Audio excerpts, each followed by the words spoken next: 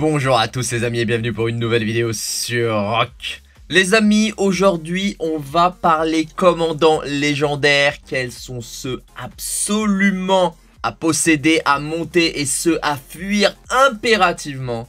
Mais avant cela les amis, comme d'habitude, si ce n'est pas encore fait, bien évidemment je vous invite à vous abonner à la chaîne en cliquant sur la cloche pour être informé de toutes nouvelles vidéos. Et surtout les amis, n'hésitez pas à nous rejoindre sur le Discord de la chaîne. C'est ultra simple, c'est le premier lien en description de toutes les vidéos. Vous y retrouvez les infos, les guides, les tips, les tutos. Tout est sur le Discord et même, et même les pronostics, les ajustements. Une vidéo pour les pronostics de la Ligue Osiris tous les vendredis à 18h et les ajustements le samedi sur le Discord. Ces ajustements, ils permettent soit de sécuriser notre mise, soit de se surblindax alors les amis, n'hésitez pas, aucune excuse pour ne plus être sur le Discord. Les amis, donc je vous le disais, on va parler des commandants légendaires avec la fameuse mise à jour de la tier list. J'essaye régulièrement de vous la mettre à jour, de vous en faire une vidéo par mois parce qu'il y a quelques changements, notamment sur cette vidéo, sur cette liste-là. Vous allez le voir, on a quelques petits ajustements, des entrants et des déclassements. Alors, le classement, il est simple. S+, les commandants à absolument posséder, monter, c'est votre cible. Les S, des très bons commandants également, souvent des anciens S+, dégradés, mais qui restent très bons commandants pour sortir plusieurs fils. faut aller vers eux, hein, priorité au S+, mais les S restent très bons. Les A, souvent des anciens S plus et S qui commencent à être déclassés, qui sont en général d'excellents commandants secondaires en binôme avec des S ou des S. Les commandants de niche qui ont un rôle très limité si vous n'êtes pas un rallye leader, un garnison leader ou un open field leader, bref, un leader de quelque chose, hein, c'est moins utile ces commandants. On a les D qui sont des commandants un petit peu éclatés. On va y retrouver par exemple les commandants de récolte, hein, vous le verrez. Et pour finir, les noms. Les noms, c'est non, c'est très simple. Ce sont des commandants totalement éclatés qui n'ont jamais été utiles ou qui ont été utiles de façon très brève. Et je vous les déconseille absolument. On va d'ailleurs commencer par ceux-là. Les commandants totalement éclatés. J'aurais pu les appeler les commandants E, E comme éclatés. Vous allez le voir, ils le sont. Donc il n'y a pas de doute par rapport à ça. On commence par l'un des plus éclatés de tous les temps, Soleiman premier. Alors je dis l'un parce que pour moi, c'est pas le recordman des éclatés. Soleiman, il est totalement naze, hein. donc on se prend pas la tête avec ce commandant. Il est non, jamais vous le touchez, jamais vous en faites rien. Il sert strictement à rien. Je peux en mettre d'autres. Hein. Son voisin immédiat, Moctezuma.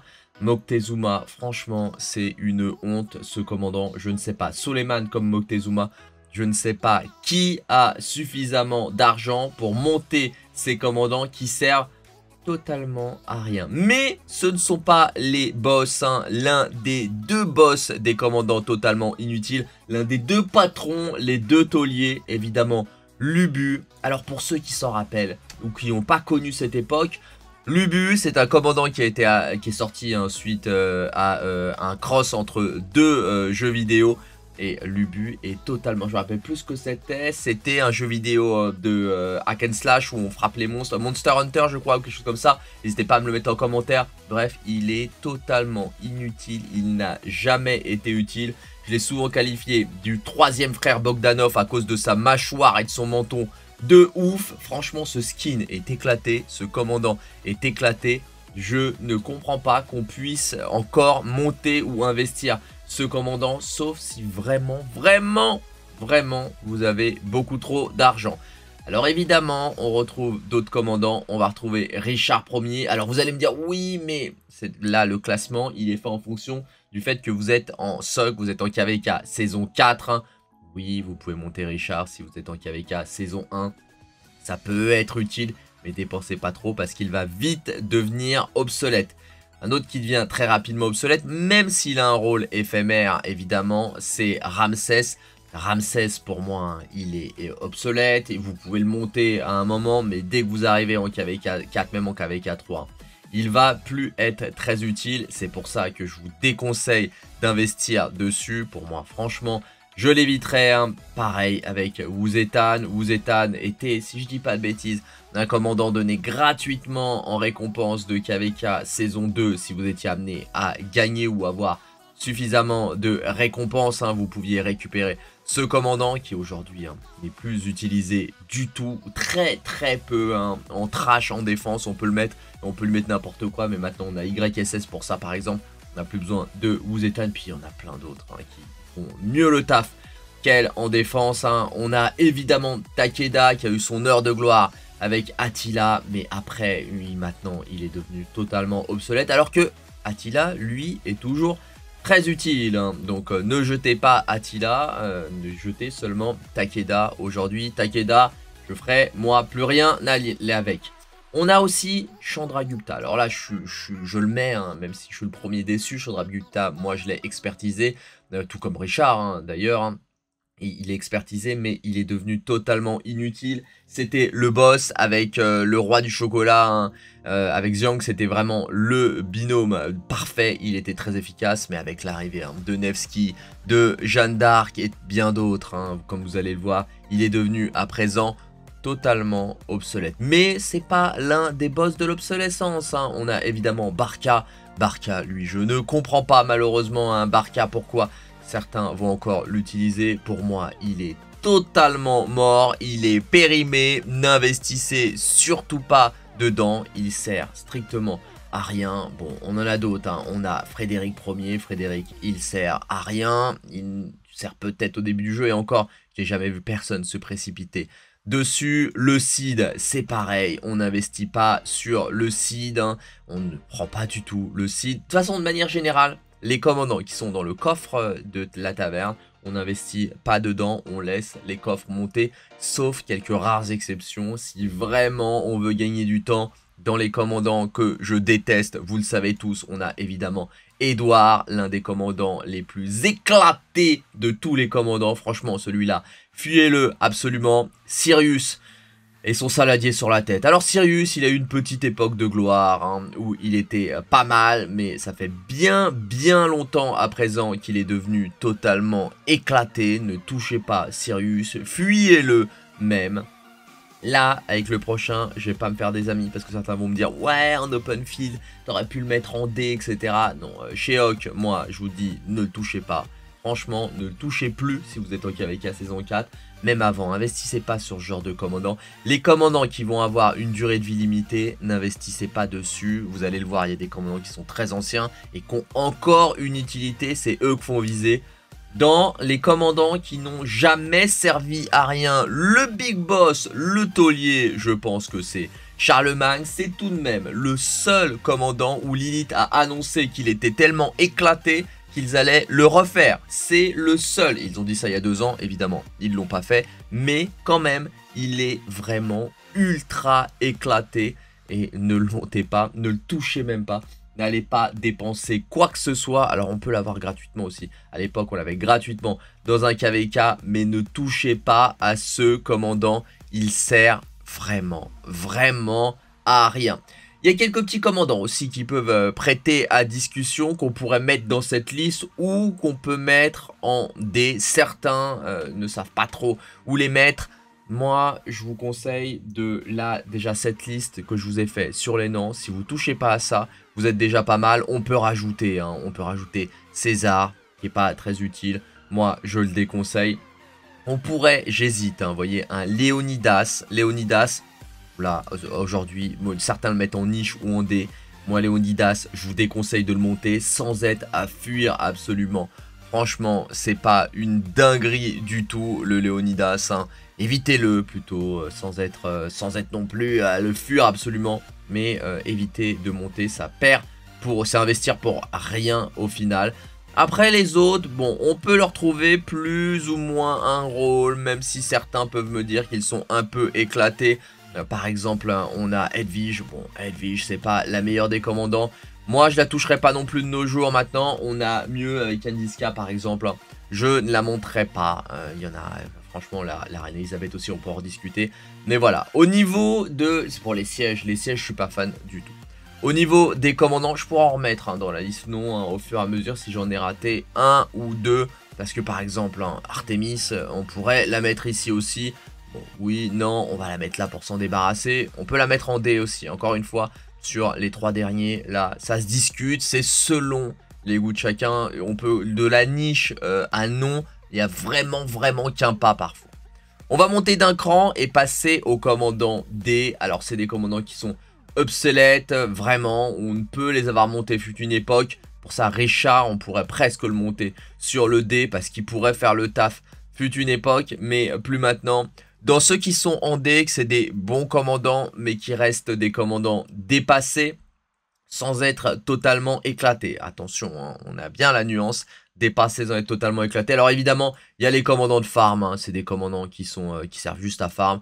Bon, pour farmer, euh, c'est les boss, hein. donc euh, on va pas les shooter pour rien. On pourrait mettre KO KO, KO KO a l'avantage d'être extrêmement rapide, donc si on veut aller vite, KO, ça reste très très bien tout de même.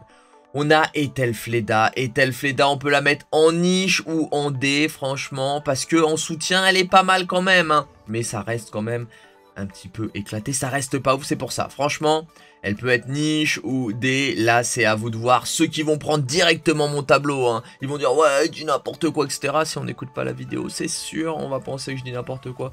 Mais là, vous voyez, niche ou D, ça dépend. On peut la mettre où on veut. Moi, je la mettrais en D parce que elle est pas, c'est pas une tuerie euh, non plus. Euh, notre ami, euh, notre ami. On a, on en a d'autres. Hein. On a les archers, évidemment, qu'on peut mettre ici. franchement, là, en D, il est pas ouf, mais il fait tout de même le job. Hein, notre ami Ramsès. Hein. On a, Là, euh, Ragnar, j'ai mis du temps à le mettre. Ragnar, j'hésitais entre le mettre éclaté ou le mettre en D. Bon, il peut faire un peu de job, il est quand même mieux qu'un Soleiman, mais c'est pas un commandant de ouf. Minamoto avec la relique du muséum, évidemment, je le mets en D. Alors là, oui, c'est avec la relique du muséum. Pareil pour Martel, pareil pour Mehmet. C'est des commandants qui ont encore un rôle à jouer euh, aujourd'hui, hein, si on les a c'est pas mal du tout, tout de même, ces commandants. Ça fait, ça fait le job. Franchement, c'est pas, des, pas des dingueries, mais ça va faire le job. Après, il y a ceux avec lesquels on peut hésiter. Saladin. Saladin, sans être une dinguerie, il est tout de même euh, obsolète aujourd'hui. On pourrait peut-être le monter un petit peu. Il fait un petit peu de job, mais c'est pas une tuerie. Artemis, c'est pareil, hein, c'est pas, pas un ouf, c'est pas une ouf, mais elle a eu son petit moment avec Amanitor notamment. Elle est revenue, elle est revenue pas mal, elle a bien remonté.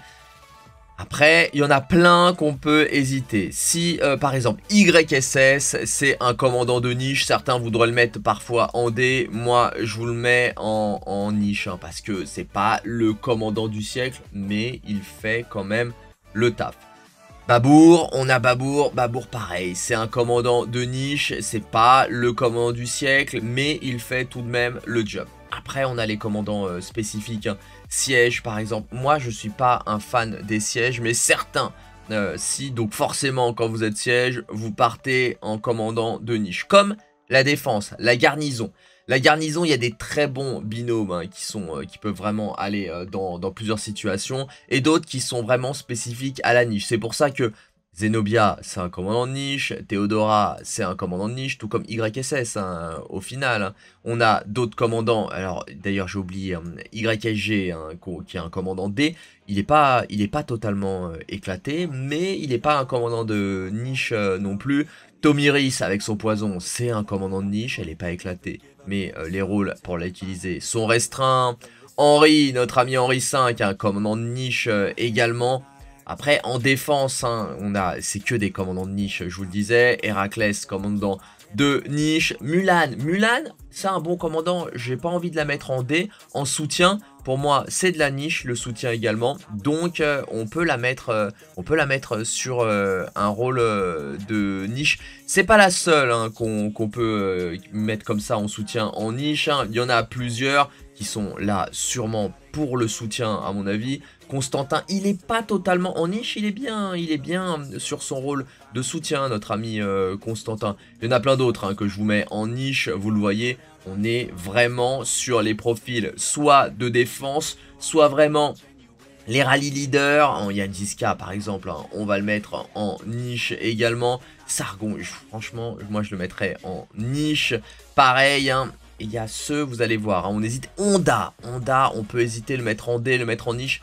Moi, Honda, pour moi, c'est un commandant niche. Vous avez, vu, hein, la liste se restreint vraiment grandement. On va arriver au A, au S et au S+. Trajan, pareil, Trajan, c'est un commandant de niche. Nabucodonosor, Nabucodonosor, on hésite entre soit il est D comme dépassé, soit il est niche. Moi, je vous le mets en niche. Pas cal, certains le détestent. Hein. Pour moi, ça reste aussi un commandant de niche. Tous les commandants un peu chelous de siège, hein, vous le savez, on les place en niche. Hein, les lapu lapu, etc. On les met, pour moi, c'est pas des commandants qui méritent d'investir de ouf. Vous avez vu, on se retrouve avec pas mal de, commandants euh, très très récents. Euh, là, les commandants qui sont des commandants de niche, hein, vous le voyez, c'est tous les mêmes. La liste bouge peu, Dido aussi, qu'on va monter en niche. Hein, et on arrive, il y en a quelques-uns qui survivent, regardez, hein, que j'ai oublié de classer pour le moment, ou que j'ai pas classé. Par exemple, on a Guan, on a Alexandre, on a euh, notre ami Gengis Khan, bon, on a Harald, Harald, de mon point de vue, j'hésite. Certains disent oui, c'est un commandant de niche. Non, c'est un commandant, c'est un commandant à ne plus monter. Ouais. Moi, Harald, je le montrerai plus. C'est un commandant qui, pour moi, est dépassé. Gengis Khan, il n'est pas totalement éclaté, mais quitte à monter euh, quelqu'un, moi, je montrerai de la même période. Hein. je montrerai Saladin plutôt que Gengis Khan. Donc à présent, je vous déconseille de le monter. Il va nous rester. Est-ce que dans les 13 anciens, il nous reste, vous voyez, de toute la liste qu'on a là, les deux plus anciens, les trois plus anciens, c'est Attila, Alexandre et Guan. Je crois que le plus vieux, c'est Guan, ensuite c'est Alexandre, et le moins ancien, c'est Attila. Je crois que c'est dans cet ordre-là. Guan, est-ce que on l'évite? Est-ce qu'il est obsolète? Est-ce que c'est un commandant de niche? Là, difficile. Il faut faire un choix sur Guan. Ça va jouer entre D, entre niche, entre non. Moi, Guan, je trouve qu'il a encore un rôle à jouer dans certaines situations. Alors, je le mettrai pas en non, je le mettrai pas en D. J'hésite entre un A, un A-, un niche. Vous voyez, un petit rôle tout de même où on l'isole. Franchement, il est quand même obsolète. Est-ce qu'on investit Il a quand même un sort de zone pour de l'infanterie. Il va taper trois cibles en même temps. C'est pas mal du tout. On a Alexandre aussi qu'on peut mettre en binôme avec Guan. Est-ce qu'on se fait un Guan avec Alexandre quand on est ancien? Bon, Alexandre, je vais vous le mettre en D. Il est pas où Je vous le mets pas en dépassé, mais n'investissez pas plus dessus si vous avez déjà investi. Guan, on va le garder en commandant niche dans certaines situations. Il peut être très très utile. Après voilà, il nous reste la liste des commandants plutôt solides. Qui va être en A? Qui va être... Alors, il y en a un que j'ai oublié de remonter, c'est évidemment Bertrand. Commandant de niche, il n'y a pas de question sur Bertrand. On a évidemment euh, Aliénor qui est ici, qui fait son entrée. On a Bellicer Prime, on a Azur, on a Herman, on a Gorgo, on a Liuchi, on a HQ. Bref, on a pas mal de commandants. Qui va aller où? On a Tariq Bin Ziad qu'on peut mettre en commandant de niche aussi. C'est un petit un moins, voire un, A. Il pourrait aller là. Et on va avoir Xianyu. Est-ce qu'il est assez bon pour monter en A? Est-ce qu'on le garde en niche, en secondaire? Je ne sais pas à ce stade. En tout cas, ce qui est sûr, c'est que Attila a sa place en A, mais il a sa place en niche aussi. Lui, il est un peu hybride. On va garder vraiment prioritaire seulement S+, S et A. Ceux que je vous conseille, sur lesquels vous pouvez investir selon moi, selon le stade du jeu. Donc Xianyu, je le mettrai plus à présent en A. On le voit beaucoup moins. Allez, j'hésite quand même parce que il peut faire le job hein, en A. Moi-même, en faisant cette liste, j'hésite. Allez, on va vous le mettre en A, Xianyu. Il reste quand même plutôt pas mal, mais ça ne doit pas du tout être une priorité une priorité, je vais vous en donner une, hein, une S+, Gorgo, Gorgo selon moi, et S+, elle est très très solide, hein. en open field, en défense, elle sait tout faire, investissez dessus. Ensuite, on a Nevsky. Nevsky, il reste très bien. On va le mettre en S. On va pas le mettre en S+, et il mérite pas d'être en A. En A, donc on descend, on décote. Hein. Je vais essayer de garder une catégorie, voire deux pour certains qui sont très forts en A ou en S, on hésite en A ou en S, on a Boadicée. Boadicée, elle est très bien, Boadicée Prime évidemment, elle est très bien, elle pourrait être en A comme elle pourrait être en S. Je pense qu'aujourd'hui, elle est un petit peu décotée pour être en S. Donc elle n'est pas du même niveau hein, que d'autres qu'on va classer en S ou en S+. C'est pour ça qu'aujourd'hui, je donnerai moins de priorité à Boadicea. Alors évidemment, je la mets devant, le roi du chocolat. Hein. Euh, mais je la mettrai qu'en A à présent. En A, j'en mettrai un autre. Hein. Je mettrai également euh, Guillaume Ier en A. Hop là, vous voyez, je le mets même devant. J'en mettrai un dernier en A. Parce qu'aujourd'hui, les rapports que j'envoie, il est pas mal, les tests. Hein. mais ça ne doit pas être une priorité, selon moi. C'est Bélicer. Bélicer, j'hésite entre A et S. Vous voyez, parce que euh, c'est un très bon binôme. Écoutez, là, selon les rapports, c'est les derniers rapports qui me font hésiter. Mais on voit tout de même qu'il pourrait avoir sa place en S. Il pourrait même faire décoter certains en S. Et on le met en S, on le met en S comme HQ, qu'on en S en binôme, comme Jeanne, qu'on en S. Et vous le voyez, on n'a plus de cavalerie en bas. Sauf Justignan, que j'ai gardé ici hein, volontairement. Euh, sauf Justignan. Est-ce que Justignan est en S+, ou est-ce que Justignan est en A? Non, Justignan est un excellent commandant de rallye cavalerie le meilleur selon moi, mais ça reste un commandant de niche. Il nous reste à présent 6 commandants. Sur ces 6 commandants, vous le voyez, il n'y a plus aucun cavalerie. On a de l'infanterie, 3 infanteries, non, 2 infanteries. Un, bon, allez, c'est de l'infanterie. Bon, bref, c'est de la cavalerie, mais euh, je pas de l'infanterie, c'est de la cavalerie. Il, il, nous reste un cavalerie, mais un cavalerie de défense spécifiquement. Donc il nous reste 3 archers, 2 infanteries, et un cavalerie, mais cavalerie de défense. C'est pour ça, c'est bien pour ça, qu'elle va en niche, notre amie Aliénor. Elle ne va pas être ici. Le meilleur binôme, c'est avec Yandiska. Je vous ferai d'autres rapports avec elle. Il nous reste donc à présent 5 commandants. Scipio Prime. Scipio Prime, il est très bien. Franchement, montez-le. Je vous le mets en S. Il est très bien. C'est à vous dire, oui, si tu mets Scipio Prime en S, faut que tu mettes Boadicée. C'est mes goûts, c'est mes choix. L'infanterie tout de même, ça reste très solide. Et vous le voyez, hein, on a plus qu'un seul infanterie. Et évidemment, Liuche pour moi, c'est du S+. On a Azur, on a Herman, on a Zugliang. Zugliang, c'est du S+. Herman, c'est du S+. Et Azur, c'est du S. Voilà la liste complète. Les quatre commandants à monter en priorité selon moi. C'est Gorgo, Liuche, Zugliang et Herman Prime. Ceux à focus en second, ça serait Nevsky, Bellister Prime, HQ, Jeanne d'Arc, Scipio et Azur. Si vous avez déjà Nevsky, si vous avez déjà HQ au, max, hein, le mettre en binôme avec Bellicer, ça va faire très mal, c'est ce qu'il y aura de mieux. Sinon, Nevsky, Jeanne, c'est très solide. Vous voyez, si je devais vous mettre quelque chose, on pourrait faire quelque chose comme ça. Hein. Scipio, très bien. Et on pourrait faire comme ça. Scipio, hop là, on inverse. Scipio, très bien.